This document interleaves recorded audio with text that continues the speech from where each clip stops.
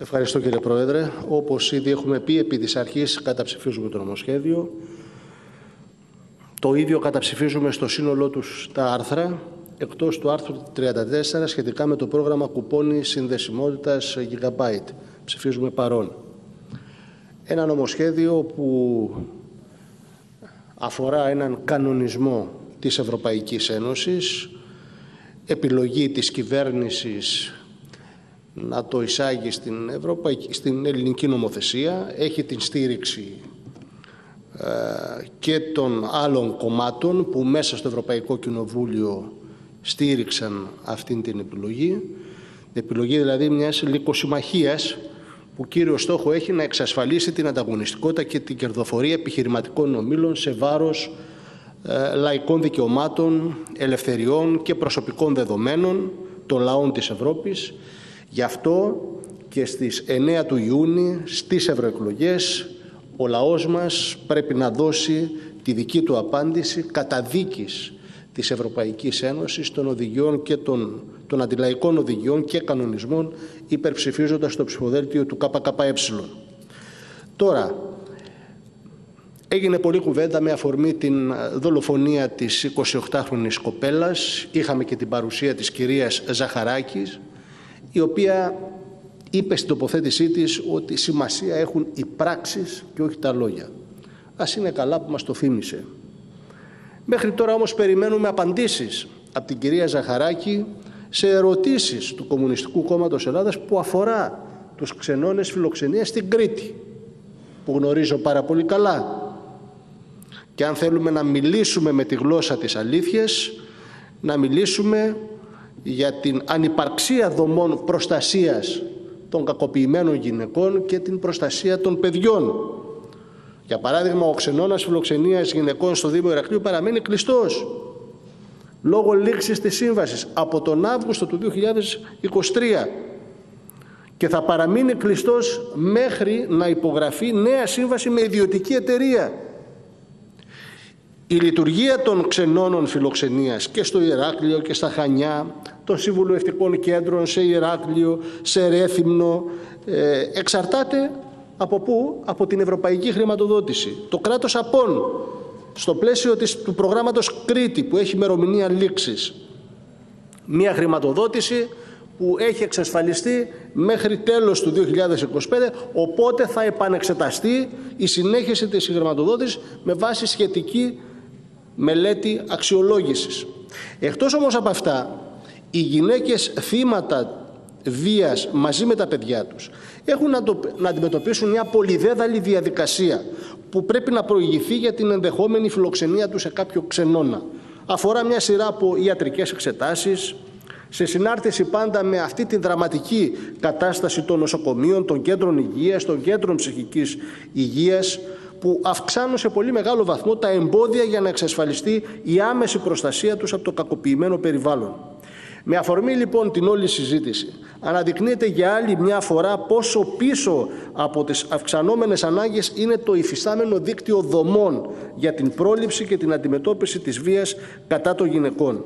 Και φυσικά η συντριπτική πλειοψηφία των εργαζομένων σε αυτές τις δομές που βιώνουν και αυτή το δικό τους δράμα δουλεύοντας με συμβάσεις ορισμένου χρόνου σύμφωνα με τις κατευθύνσεις της Ευρωπαϊκής Ένωσης αυτής της ιερής συμμαχίας σε βάρος του δικαιώματος στη μόνιμη και σταθερή δουλειά.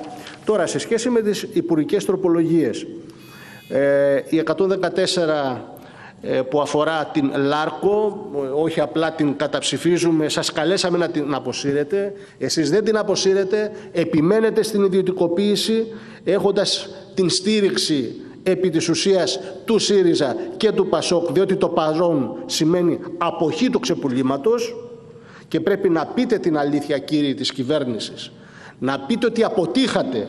Χρεώσατε τον κρατικό προϋπολογισμό 110 εκατομμύρια ευρώ για να δώσετε τη Λάρκο 6 εκατομμύρια. Ότι ο νέος ιδιοκτήτης θα την κάνει σκραπ και καταφέρατε να τον κάνετε δισεκατομμυριούχο και παράλληλα να χαθούν 1.600 άμεσες θέσεις εργασίας, 15.000 με έμεσο τρόπο να καταστρέψετε περιοχές πέντε νομών έστω και την τελευταία στιγμή, αν πραγματικά ε, αντιλαμβάνεστε στοιχειοδός το, τον πόνο αυτών των ανθρώπων, πάρτε πίσω αυτή την τροπολογία και φέρτε το θέμα επαναλειτουργίας για ουσιαστική συζήτηση. Κρατάνε ψηλά τη σημαία οι εργαζόμενοι, τη σημαία του αγώνα και διεκδικούν δουλειά, καμίνια και νταμάρια για να λειτουργήσουν ξανά. Και το ΚΟΚΟΕ είναι εκεί, μαζί, μαζί με τους εργαζόμενους, στον ίδιο αγώνα μέχρι την τελική δικαίωση. Για την τροπολογία 115 γενικό και ειδικό 6, την καταψηφίζουμε στο σύνολό της και επί των άρθρων και τέλος η τροπολογία με γενικό 116 ειδικό 7 την καταψηφίζουμε στο σύνολό της, βαραίνει κυρίως το άρθρο 1 της τροπολογίας που αφορά την κάλυψη δράσεων πυροπροστασίας από τους συνδέσμους των Δήμων. Ουσιαστικά, και καταψηφίζουμε διότι ουσιαστικά δεσμεύονται και άλλα χρήματα από τους οργανισμούς τοπικής αυτοδιοίκησης, οι οποίοι δεν έχουν τα στοιχειώδη για συγκεκριμένες δράσεις πυροπροστασίας, οι οποίες σύν της άλλης είναι αποσπασματικές και αναποτελεσματικές και αυτό γιατί δεν εντάσσονται στο πλαίσιο ε, της δασοπρο, δασοπυροπροστασίας που σχεδιάζουν οι αρμόδιες υπηρεσίες. Στο άρθρο 2 θα ψηφίσουμε υπέρ αν ήταν ξεχωριστό σε ξεχωριστή τροπολογία θα το υπερψηφίζαμε. Αφορά την έκτακτη χρηματοδότηση του Δήμου Θεσσαλονίκης λόγω των έργων κατασκευής της υπερυψημένης λεωφόρου. Η αλήθεια είναι ότι χάθηκαν δεκαετίες, σπαταλήθηκαν χρήματα, ο λαός της Θεσσαλονίκης υφίσταται μια διαχρονική ταλαιπωρία γιατί δεν θέλουν και δεν μπορούν να λύσουν ενώ δεν θέλετε και δεν μπορείτε να λύσετε ολοκληρωμένα το ζήτημα του συγκοινωνιακού και κυκλοφοριακού προβλήματος της πόλης. Με τη διάταξη αυτή για την έκτακτη χρηματοδότηση του Δήμου Θεσσαλονίκης θα πούμε ναι, διότι πρέπει να υπάρξει έστω μια στοιχειώδη αποσυμφόρεση του κυκλοφοριακού και θα έπρεπε βέβαια αυτό να είχε γίνει και χωρίς ε, το flyover.